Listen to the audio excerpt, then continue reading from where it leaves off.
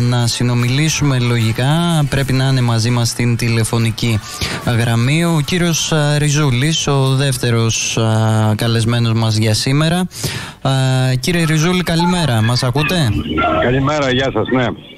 Εγώ μπορεί να έχω λίγο φασαρία εδώ, αλλά εντάξει. Δεν... Όχι, σας ακούμε μια λοιπόν. χαρά. Σας ακούμε μια χαρά και σας ευχαριστούμε θερμά γιατί ξέρουμε ότι είστε και στο χώρο δουλειά σας. Οπότε ζητούμε και συγγνώμη. Ναι, ναι Εκ των προτέρων για τις όποιες δυσκολίες. Λοιπόν, α, τώρα είστε ένα τέλεχο της αριστεράς, της ανανεωτικής και ριζοσπαστικής αριστεράς με εμπειρία. Έχετε θητεύσει βουλευτής Αχαία. Ήσασταν μέλος για πολύ μεγάλο χρονικό διάστημα και της Κεντρικής Επιτροπής του ΣΥΡΙΖΑ και του ΣΥΡΙΖΑ Προοδευτική Συμμαχία και πήρατε κι εσείς μια απόφαση μαζί με άλλους συντρόφους σας να αποχωρήσετε από το κόμμα της αξιωματικής αντιπολίτευσης. Θέλω να μου κάνετε ναι. ένα σχόλιο για αυτήν την πολιτική επιλογή. Σήμερα υπάρχει και μια εκδήλωση κεντρική στην Αθήνα. Ναι, κοιτάξτε οι λόγοι είναι δύο νομίζω για όλους όσους αποχωρούν, προφανώς συμπεριλαμβάνει και εμένα.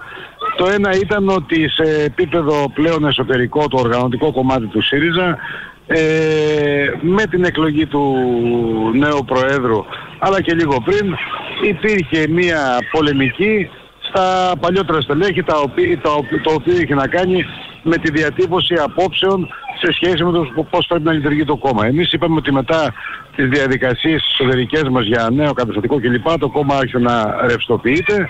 Αυτό εξελίχθηκε σε μια εσωτερική αντιπαράθεση κυρίως με την διαδικασία της εκλογής Προέδρου και βέβαια αμέσως μετά από αυτήν με αποκοπέριφημα την Κεντρική Επιτροπή είδαμε έναν πρόεδρο συνεπικορούμενο και από στελέχη τα οποία έχουν μείνει στο ΣΥΡΙΖΑ να ε, ξεκαθαρίζει ότι δεν υπάρχει θέση εδώ για ξεχωριστή άποψη. Μία είναι η άποψη, το λέω εν, εντάχεις τώρα, και όποιον του αρέσει φεύγει. Το ένα είναι αυτό. Το άλλο είναι το πολιτικό κομμάτι το οποίο από την, από, τις, από την πρώτη ώρα της εκλογής του Προέδρου είδαμε να δίνονται κατευθύνσεις οι οποίες καμιά σχέση δεν είχαν με τις αρχές τις οποίες έχει διακηρύξει ο ΣΥΡΙΖΑ σε σχέση με την κοινωνία, σε σχέση με το πώς αντιμετωπίζουμε διάφορα ζητήματα στο επίπεδο της οικονομίας.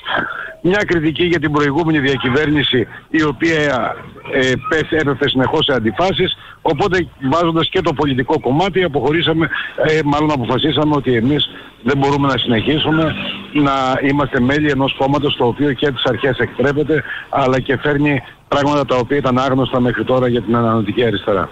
Στην κριτική που δεχτήκατε ότι δεν φύγατε συντονισμένα σε κάποιο συνέδριο ή σε κάποια διαδικασία κεντρικής επιτροπής αλλά αποχωρήσατε σταδιακά α, πριν γίνουν σοβαρές αλλαγές στο πρόγραμμα του κόμματος τι απαντάτε; Ναι. Ε, απαντάμε το εξής ότι καταρχάς μέχρι την επίμαχη εκείνη κεντρική επιτροπή ε, ένα άλλο ζήτημα κριτικής που ασκήσαμε ήταν ότι δεν λειτουργούσαν καθόλου τα κόμματα, η, τα όργανα, η πολιτική γραμματεία να παίρνει τις πολιτικές αποφάσεις, να δίνει κατευθύνσεις κλπ. Αλλά μπήκαμε σε μια λογική της αδιαμεσολάβητης σχέσης του Προέδρου με το κόμμα το οποίο έδειχνε, με τα μέλη μάλλον, το οποίο έδειχνε και την θέληση του πώς, το ποιο κόμμα θα ήθελε να έχει ο πρόεδρος από εδώ και πέρα, δηλαδή μια, ένα κόμμα το οποίο τα όργανα δεν λειτουργούν.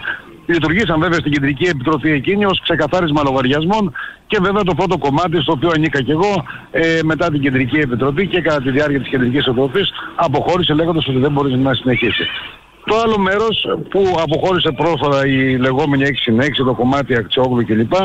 Ε, παρόλο που ε, αποχωρήσαν την Κεντρική Επιτροπή, δεν φύγανε με, τη, με, με το πρώτο ε, ας το πούμε ναι. κύμα αποχωρήσεων, ε, αλλά μετά από συζητήσεις, διαβουλεύσεις και βλέποντας και την εσωτερική κατάσταση, ε, αποφασίσαμε ότι και αυτοί δεν μπορούν να συνεχίσουν στο κόμμα. Και, και νομίζω ότι ήταν τα δύο αρχικά ζητήματα. Ένα το οργανωτικό κομμάτι και ένα η νέα πολιτική αντίληψη που έφερνε ο νέος πρόεδρος ε, να σας πω κάτι άλλο. Θεωρήσαμε ότι δεν υπάρχει χρόνος και για την κοινωνία αλλά και για την αριστερά πλέον να μετέχει σε ένα κόμμα το οποίο οι διαδικασίες του αλλά και οι σκέψεις του εκτρέπονται από αυτό που εμείς καταθέσαμε τόσα χρόνια σε αυτό το χώρο είτε στο ΣΥΡΙΖΑ είτε στο συνασπισμό προηγουμένως ή ότι οπουδήποτε ήταν κάποιος και στο Πασόκ ακόμη, κάποιοι άνθρωποι κλπ.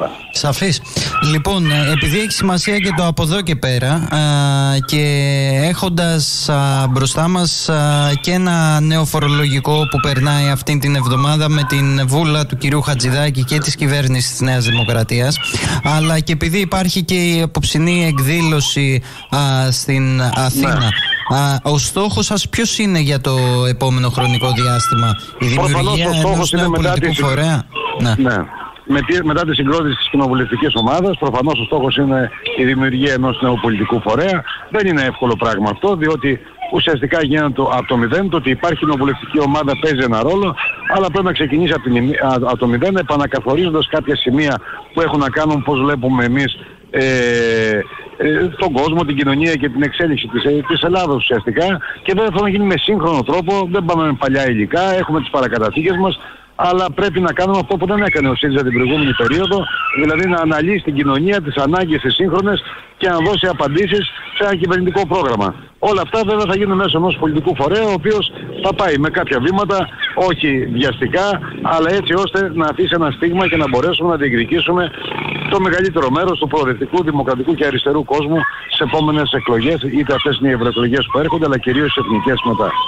Μάλιστα. Κύριε Ριζούλη, ευχαριστώ θερμά για αυτή την συνομιλία στον Πρίσμα Radio Ευχαριστώ και εγώ και τα ξαναλέμε. Και καλή δύναμη, εύχομαι.